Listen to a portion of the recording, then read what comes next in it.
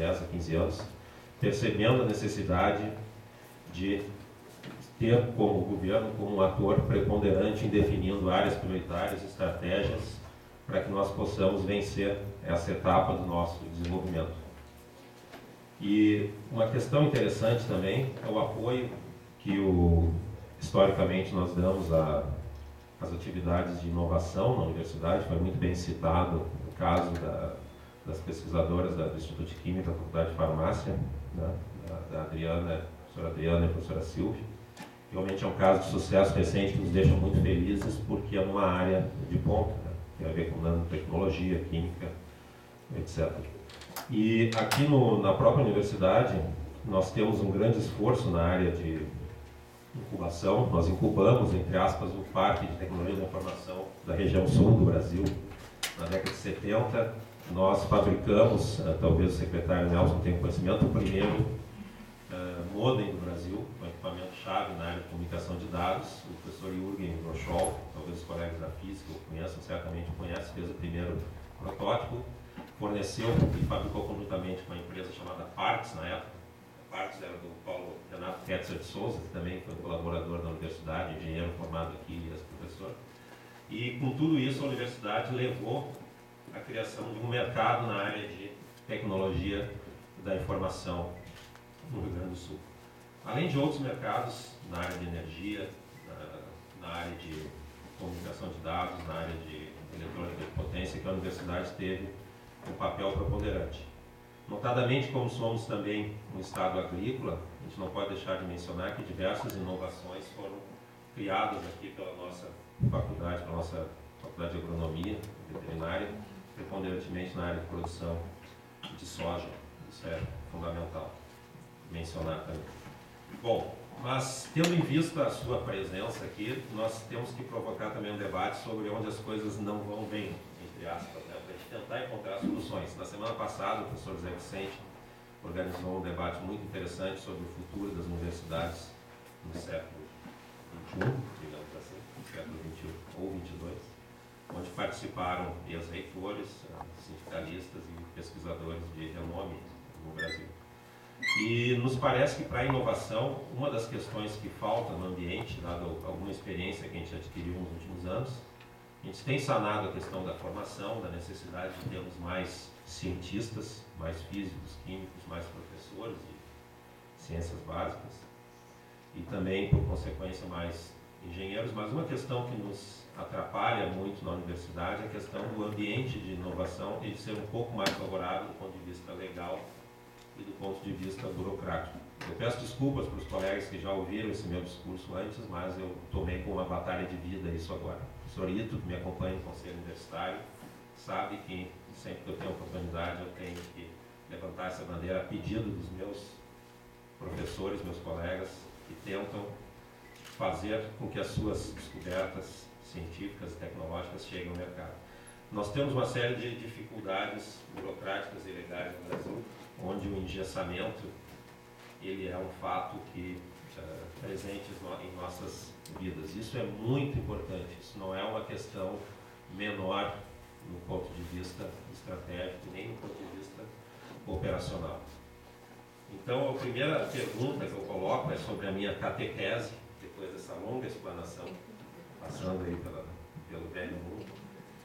A primeira pergunta que eu coloco é o quanto é percebido, tanto pelo MDIC quanto pelo Ministério da Ciência, Tecnologia e Inovação, quanto a essa questão legal, quanto o marco legal brasileiro, onde há um ambiente de excesso, excesso de controle, principalmente sobre as universidades. E autônoma ficou somente o nosso discurso da década de 80. Eu era aluno, mas eu ouvia o discurso professor José Vicente na década de 80, com outros colegas, por autonomia. Então a autonomia, infelizmente, é a parte, e a minha conclusão daquele debate da semana passada, a autonomia é a parte que nunca chegou às universidades ainda tendo em vista o marco regulatório que tanto os empresários quanto nós nos queixamos, o que, que tem sido feito, o que, que tem sido uh, proposto e como tem sido enxergada essa questão burocrática e legal extremamente pesada no Brasil. Isso tem um custo também na pesquisa científica, na transferência de tecnologia, na inovação e na melhoria, obviamente, da qualidade de vida de todos nós. Obrigado. Só uma provocação inicial. Eh, nós vamos fazer uma revoada de perguntas, está à disposição do microfone. A professora Nádia pediu a palavra, a professora O professor Ladislac também, o Paulo. Uh, bom, é, eu tenho me ocupado também desses assuntos por conta da, da FAPERGS, a gente tem alguns editais nesse sentido, e me preocupa também muito essa questão relacionada à, à legislação, né? porque ela, digamos assim, faz com que você tenha dificuldades imensas no, no, no encaminhamento dessas questões. Agora, eu gostaria de saber do Nelson se uh, qual é a opinião do Ministério em relação à situação em que se encontram as empresas, né? Como as empresas veem essa questão? Porque a gente observa muitas vezes uma séria dificuldade de parte da empresa, seja ela micro, pequena, média ou grande, de empreender no sentido de se associar às ideias. Eu dou apenas um exemplo. Nós tivemos, já estamos no quarto edital, que é o tipo de um pesquisador da empresa, e nós temos dificuldades imensas de colocarmos as bolsas nos setores né, eh, produtivos. Por uma das razões é a questão que exige um investimento do, da empresa, embora não tenha nenhum nenhum, nenhuma obrigação trabalhista embutida, existe, exige um certo investimento. Uma segunda questão que se observou é a questão da propriedade intelectual, que a empresa muitas vezes teme né, a forma como isso será encaminhado posteriormente, e também a questão que nos foi colocada da a dificuldade de contratação posterior ao período de trabalho e pesquisa. Então, eu acredito que o Ministério deve ter alguma algum dado sobre isso?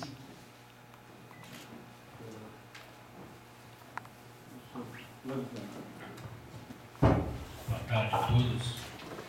Já fui provocado, vou ter que me manifestar um pouco. Na verdade, eu tenho duas coisas que eu gostaria de ressaltar, e uma talvez eu pegue o gancho da Nádia agora, que é a questão das empresas. Na verdade, a gente tem um programa muito sério no Brasil, que a maior parte das nossas empresas não precisam inovar. Elas têm, são empresas cujo processo produtivo é estabilizado, tecnologias tradicionais, e que se gastarem um centavo, que seja 10% do investimento ou de 90% é repassado pelo governo, elas não vão fazer. Elas não vão contratar um pesquisador, porque na verdade esse tipo de expediente é a um tipo de empresa onde há necessidade de desenvolvimento. As nossas empresas, na sua grande maioria, não têm necessidade de desenvolvimento. Ah, bom, isso posto, não quer dizer que elas não tenham alternativa. E eu, quando olho esse ah, projeto do Brasil, o ministro Halp teve aqui há dois meses atrás, numa conferência que nós organizamos, e detalhou o projeto recente, e há duas coisas que não, não aparecem nesse projeto. Um, ah, quais são as ações que concretamente levariam empresas de baixa tecnologia, low tech, como nós temos chamado, para patamares su superiores? O que só se fala é de patente, de gasto em P&D, essas empresas não vão gastar em desenvolvimento, elas não vão se preocupar com a propriedade uh, uh, intelectual ou industrial, elas não contratarão doutores nem mestres para trabalhar dentro dos seus uh, quadros, digamos assim. Estou falando de 60%, 70% das empresas. Nós estamos agora, nesse momento, com um projeto Conex, mapeando uh, empresas brasileiras, e esse é o primeiro retrato que a gente tem. 2, 3% das empresas brasileiras têm um perfil que se, estão adequados a um projeto dessa magnitude. Uh, eu diria que umas 15%, podem, 15 podem se candidatar a isso, e é o alvo do desse investimento, mas o restante não está contemplado nem nesse projeto, nem na lei de inovação, ela não é uma lei, a lei de inovação não é uma lei que se aplica a este tipo de empresa, elas não conseguem, elas estão sempre negativadas para poder obter uh, esses recursos. Né? Uh, então, assim, isso é uma coisa que me assusta. E a segunda coisa que me assusta, como pesquisador na área de inovação, é que a inovação é tratada por demais como uh, algo do estilo Deus ex machina. Quer dizer, assim, alguém vai decidir por decreto que a partir de agora passa a se inovar.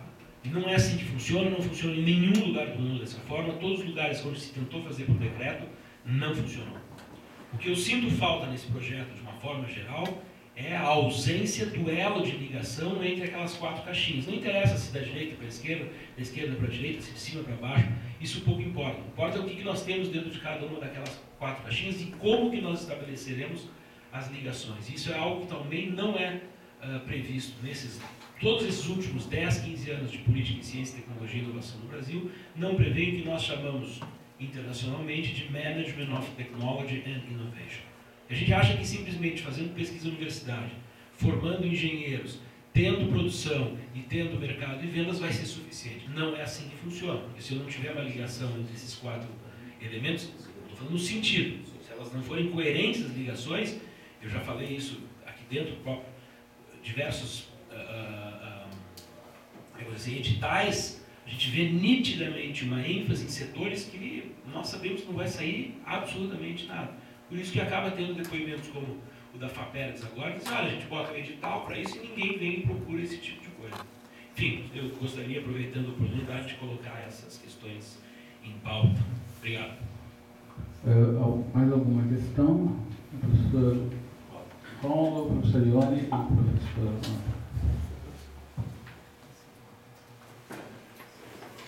Bom, eu, eu gostaria de colocar talvez um ponto de vista de quem está dentro de um laboratório, com a cabeça dentro da máquina, fazendo pesquisa, e, e daí pega o gancho da questão do marco legal e, e da falta de estrutura, por exemplo, eh, de administrar um projeto, de fazer importações, de fazer que as coisas, contratar muitas vezes técnicos.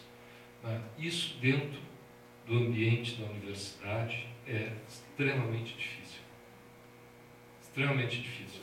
Eu tenho projetos, por exemplo, com a Petrobras, eu consegui contratar alguns técnicos, mas são pessoas que depois vão embora, eh, as coisas dão para trás, né? e aquele conhecimento acumulado se perde de uma maneira muito fácil. Aquele conhecimento, know-how, não o conhecimento científico que está na forma de papers, mas o conhecimento de como fazer as coisas, a habilidade mesmo de, de fazer e a, e a capacidade de, de, de gerar instrumentos, instrumentação, de coisas de laboratório, isso está se tornando cada vez eh, mais difícil contratar serviços. Né? E, e eu vejo que a universidade não dá essa infraestrutura. Falta, talvez, eh, instituições como, por exemplo, Fraunhofer na Alemanha, que suporta pesquisas. Falta isso um pouco dentro do Brasil. E, e, eu senti no, no, seu discurso um pouco a tentativa, do, talvez, do modelo de, da Califórnia de ligar diretamente a universidade com a indústria mas aqui nós temos uma dificuldade muito grande, porque esse elo é muito fraco. A indústria não, também não tem interesse na maioria das pesquisas que nós fazemos aqui. E para podermos ser o país 13º colocado na produção de papers, a gente está fazendo uma pesquisa muito adiante do que a tecnologia da, da maioria das indústrias brasileiras. Então, então tem um, gap, tem um espaço muito vazio e eu queria colocar essa questão tá, para aí debate. Obrigado. Professor Igane e primeiro. Professor Igane,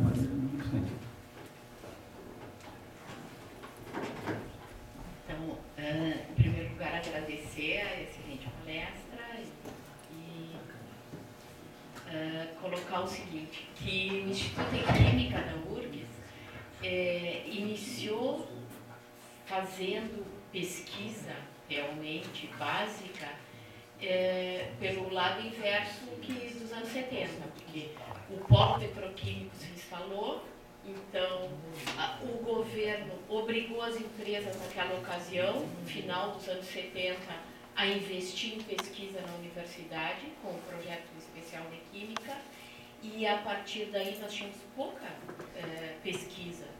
Eh, o Instituto de Química tinha, né, naquela ocasião. Passou a desenvolver pesquisa e se tornou como uma bola de neve. Hoje é um instituto de pesquisa, né, um dos, inclusive, melhores do país. E o que a gente viu nesses 30 anos foi que não houve continuidade de investimento.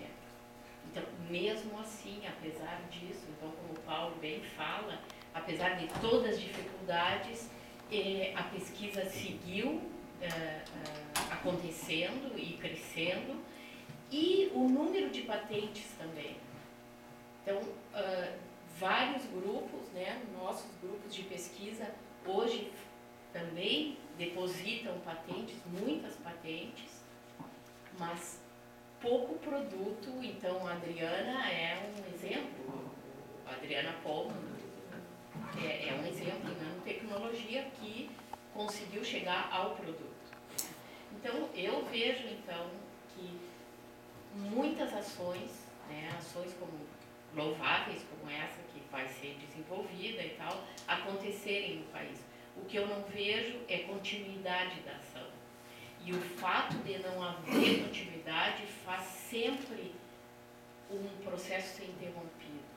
E se, ser interrompido de uma maneira muito danosa. Né? Então, o, o meu, a minha pergunta é como fazer que haja continuidade nos próximos 30 anos e não no próximo governo. Porque eu, hoje, eu, olhando, eu acho pior do que não haver, não haver continuidade. Eu, eu acho assim.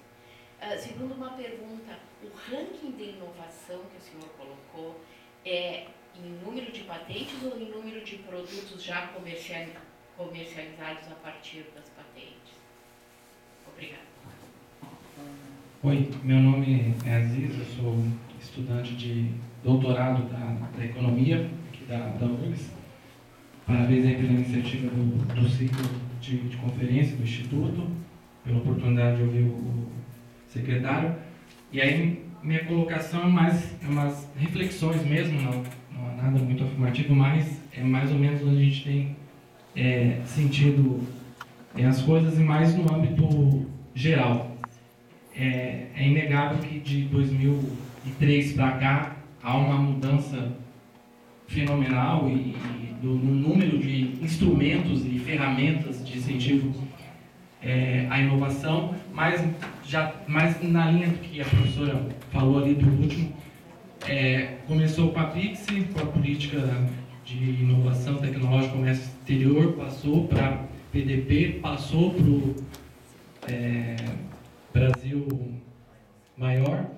Então, é, é, é, claro, não é uma questão muito simples, e aí dentro dessa linha histórica a, a, parece que há muito mais assim, rupturas do que aperfeiçoamento, não que o elemento de aperfeiçoamento não, não exista, mas, por exemplo, questão dos setores eleitos, né, nunca é fácil eleger um setor, porque nunca se sabe realmente, enfim, é, o que, que realmente é, vai valer a pena em termos de crescimento e, desenvolvimento econômico, mas já havia eleição de setores na, na PITSE. E, e, e, apesar disso, que era o fármaco, que era os semicondutores, que era o soft, que era o, o bens de capital, e, e uma visão assim, mais retrospectiva, parece que quase nada mudou em termos mais macro, em termos de estrutura produtiva. Muito pelo contrário, né? É, a, a continuidade da regressão é, da, desses setores eleitos pela política é no sentido da, da sua din, dinamização é, é, é o que, enfim, é o que mais se aparece, inclusive agora dando problema na balança comercial de, desses setores. Então, é, é, talvez mais no sentido do que já foi falado, como fazer com que todos esses instrumentos criados se revertam realmente para o crescimento do que para do que para a própria é, continuidade ou para a própria afirmação do sistema produtivo que já vinha se desencadeando. Ou seja, BNDES realmente não tem, não falta dinheiro. Realmente, pelo menos no âmbito do BNDES, tem muito dinheiro. Todavia, se você for pegar para onde está indo esse dinheiro, são para setores que tradicionalmente já estão muito bem, obrigado. E, e aí o Brasil acaba reforçando um padrão é, que, poxa, que, que me parece que não, não seria bem. É, então, assim, há esse desafio de, de, de, de fazer com que todos os instrumentos criados, que não foi fácil, foram criados, sejam direcionados para realmente para aquilo que vai valer a pena no sentido do, do desenvolvimento econômico e não reforçar um padrão é, em setores, inclusive, que o Brasil já vai bem. Né? Então é mais ou menos isso aí que a gente tem refletido.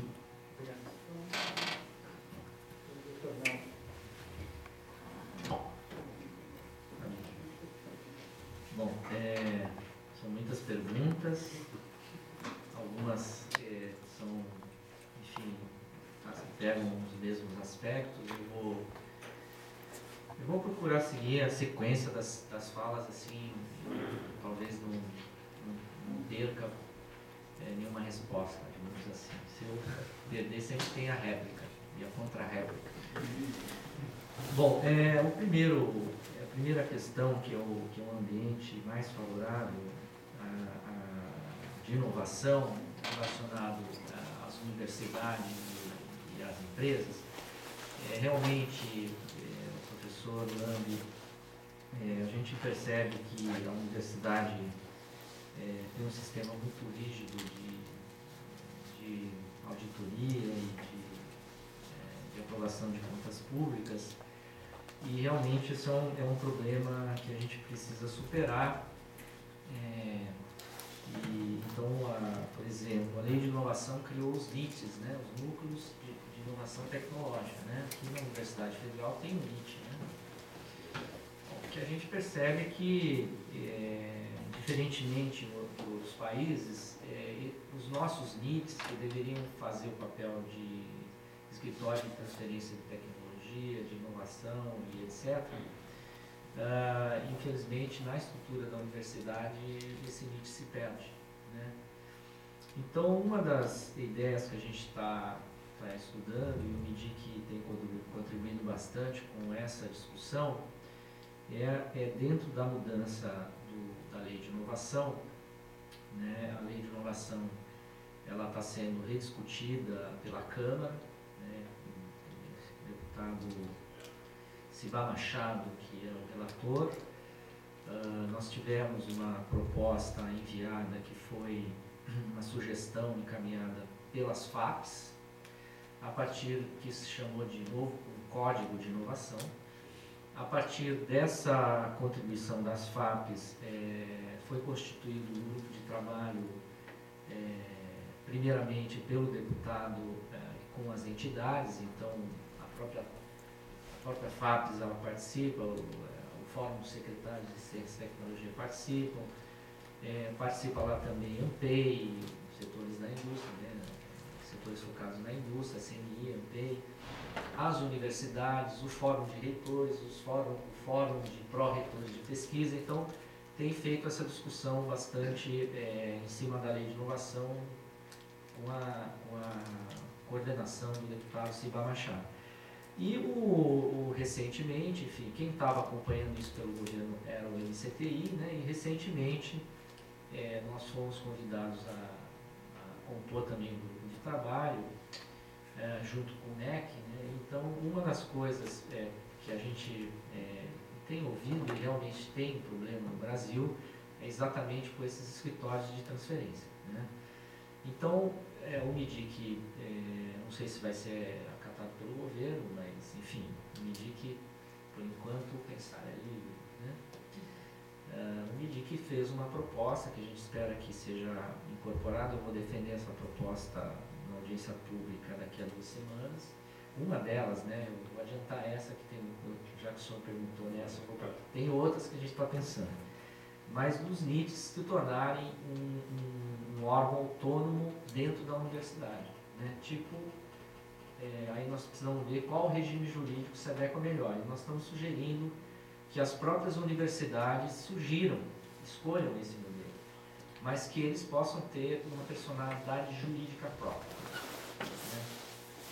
Isso como uma coisa lá com o conselho universitário, etc. Seria, vou dar um exemplo, poderia ser uma OS. Né? Uma OS vinculada à universidade. Né? Então todo mundo sabe como é que funciona uma OS, né? e ela tem é, autonomia para tratar pessoal, para contratar pessoal, não ficar sendo conduzido só por bolsista, né? Os bolsistas são bem-vindos, mas a gente não pode deixar um, um, escritório de tamanho importância sem uma estrutura é, profissional adequada para conduzir. Então, a forma como o MIDIC é, enxerga a possibilidade disso é você criar, então, possibilitar que dentro da universidade você pode, possa transformar o MIT num é, numa, enfim, num órgão, é, pode ser qualquer coisa que a universidade achar melhor, mas que tenha é, uma autonomia administrativa e financeira, vamos dizer assim, que ela possa realmente é, é, encaminhar e conduzir os, os, os, os, contratos de transferência de tecnologia. Por que, que a gente propôs isso? Porque o problema entre a universidade e o setor empresarial, ele ele não acontece só no Brasil, não acontece só com a URGS, não acontece só com a USP, nem com a Unicamp, nem com a PUC, que é privada. Esse problema é um problema que acontece no mundo inteiro. No mundo inteiro é, é assim, a universidade é uma coisa e o setor privado, o mercado é outra. Né?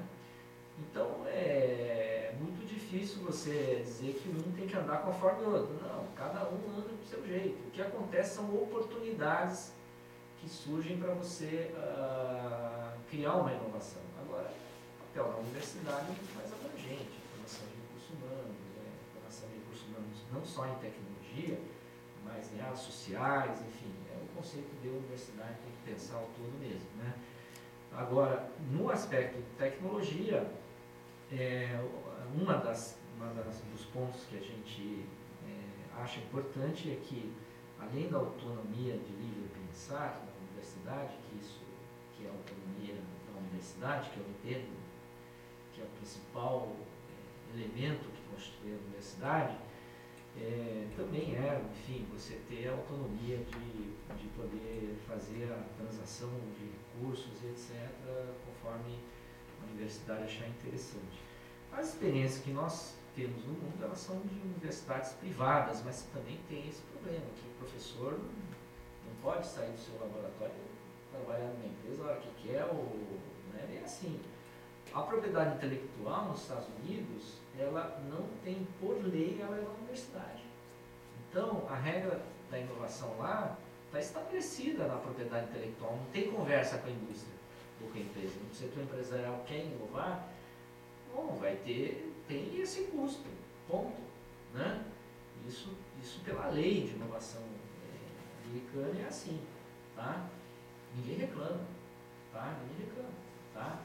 Então eu acho que esse negócio de propriedade intelectual, já vou avançando aí, mas eu acho que é um falso problema, na minha opinião. Na verdade, talvez o professor Zavislak né, é, tenha apontado muito bem qual é o problema. O problema, o problema não é da universidade e não é das empresas. O problema é, talvez, desse meio de campo, é, de você aproveitar. Mas eu diria muito mais. Eu acho que pela nossa tradição, da nossa indústria, do nosso, nosso setor produtivo, é, são setores muito bem já, alguns setores já tradicionais, muito bem consolidados, etc. Não que eles não dependam de inovação. Eu acho que, eu acho que parte da crise industrial brasileira é porque nós estamos trabalhando com um produto que não tem inovação nenhuma e setores tradicionais tradicionais da economia, seja calçado, seja têxtil, qualquer setor hoje é obrigado a inovar. Então não tem como, quer dizer, a concorrência está aí na sua porta. Como é que você vai fazer? Então você está tendo problema de adequar é, a, a, sua estrutura de é, produção com o resto do mundo. Né? Você está produzindo mais caro, você está produzindo uma tecnologia inferior, né? a qualidade do seu produto está menor, então, concorrencialmente, resultado, você está ferrado. Você tem que melhorar. Então, por isso que o governo está é, muito preocupado nos sistemas de inovação. Por quê? Porque a saída, é, evidentemente, é, vai passar pela inovação. Tem muito outro caminho, a gente não vai ficar protegendo a indústria o resto da vida e criando barreira comercial, barreira técnica para aumentar produto chinês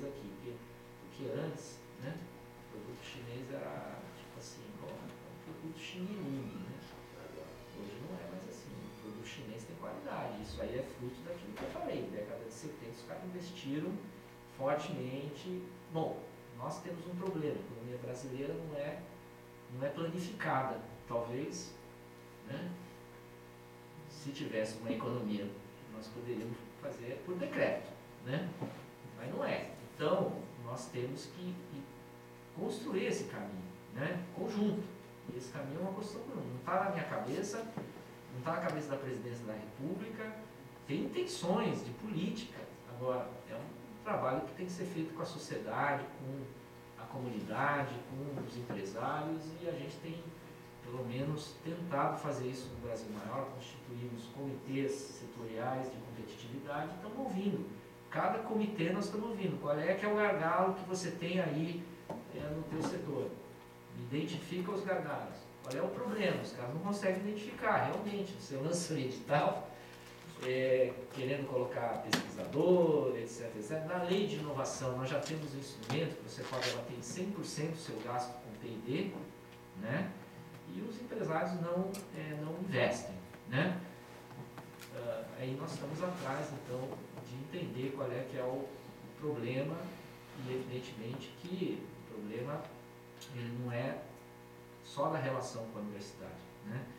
A, a Pintec já mostra isso. Né? O maior parceiro de inovação das empresas inovadoras brasileiras são outras empresas, ou seu fornecedor ou o seu cliente. Tá? Então é a lei do mercado. Né? Como é que eu melhoro o meu produto a partir do meu fornecedor e como é que eu coloco esse, esse produto no mercado para quem eu vendo. Tá? Então, talvez a gente esteja olhando, vamos dizer, o governo esteja olhando só para um sistema, para um lado e não esteja olhando para o outro. Isso pode ser, um, pode ser uma, uma, um desafio da gente identificar quais são as causas, mas a Pintec mostra isso. O primeiro parceiro é, é o parceiro, o fornecedor, o cliente. A universidade, a universidade está em quarto lugar. Né? É assim no mundo inteiro, não é um problema brasileiro. É assim no mundo inteiro. A questão é encontrar as oportunidades. Né? Eu acho que, que é mais por aí do que a gente ficar. Claro que a lei pode melhorar, a questão do índice pode melhorar, marco regulatório, importante. Tem outras questões do marco regulatório que a gente está incluindo, pensando mais na empresa também, né? de, enfim, de poder uh, usufruir da, da, da lei para poder é, melhorar o investimento em inovação. É, eu já falei do abatimento é, de P&D, a gente está querendo na lei mudar esse abatimento para o dobro, ao invés de ser 100% ser o dobro. Então aí você passa a ter é, um incentivo, você não passa a ter um desconto, você passa a ter uma vantagem. Então se você ter doutor lá dentro, você ter aplicou em. Então, do, pelo lado do governo, marco regulatório, a gente está pensando essas questões. Né? Uh, os elos é, entre as, as, quatro caixinhas realmente é, isso é fundamental, isso aí não tem, não tem forma. Tem, tem, é tentativa e erro. Tem ciência? Tem. Uh, tem a lei de inovação que ajuda a fazer isso, tem a lei do bem, né, que dá investimento para fazer isso, e tem a cultura. Eu acho que pelo que você colocou, muito mais pelo lado da cultura, pelo lado da, mas enfim, é um trabalho mais abrangente. E uma última professora é, do Instituto de Química, o ranking é, leva em consideração tanto patentes como produto no mercado, é, envolve o conjunto é, das coisas. Né?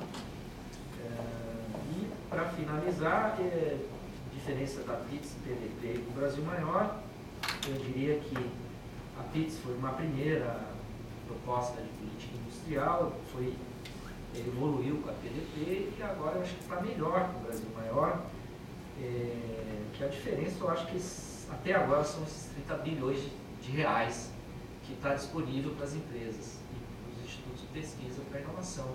Né, lá na a política para é, TICs, nanotecnologia, biotecnologia, tudo isso continua, mas agora a gente está focando no mercado, então tem recurso, né? 33 bilhões né, de, de reais.